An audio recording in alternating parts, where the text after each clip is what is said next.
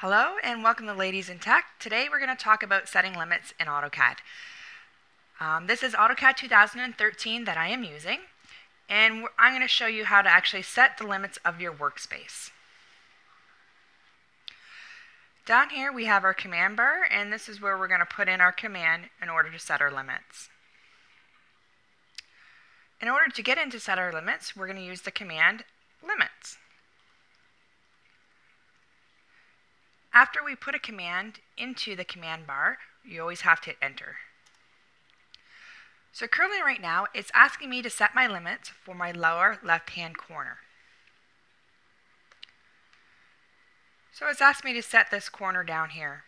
It always needs a reference to know how far or how big we want to make our page. So think of it as a rectangle. So here's the bottom corner, and the next one we're going to set is this up corner, and it's going to do the math in between to decide. So this corner to this upper left corner. So currently it's asking to specify our lower left corner, so the corner down here.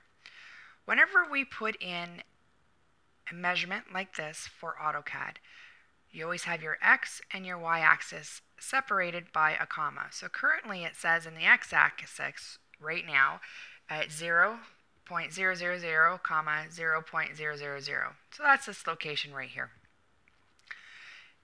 Whenever you see these two arrows, that means that's curling what's in there. If you want to keep it as that, you simply just hit your enter key. Now it's asking us for our limits for our upper corner.